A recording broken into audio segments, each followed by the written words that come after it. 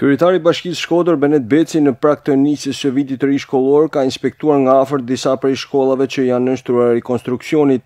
Ai së bashku me përfaqësues nga firmat e kontraktuara, ka parë nga afër cilësinë e punimeve, por edhe përgatitjet e fundit që po bëhen në mënyrë që nxënësit të kenë gjithçka gati të hënën, ditë kur nis dhe viti i ri shkollor në vendin tonë. Në shkollën Ismet Sali Bruçaj është kryer faza e parë e ndërtimit të shtesës së ambienteve të reja, ndërkohë që Bashkia Shkodër po miraton edhe fondin për fazën e dytë të kësaj godine.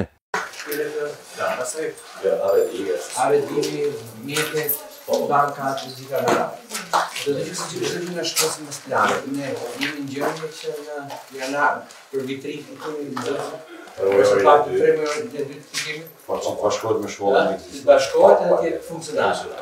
Në dy dhe mërë të rrështë në kapot? Në kapot është në rrështë, në kapot, në duke e gjemë dhejtarët. Më pas kryebashkiaku Beci është ndalur në shkollën Azem Hajdari ku është kryer faza e parë e rikonstruksionit në të cilën kanë qenë të përfshira punimet e brendshme, ndërkohë që gjatë inspektimeve kryetari i bashkisë ka parë nga afër dhe punimet e brendshme nga punonjësit e bashkisë në shkollën Branko Kadia.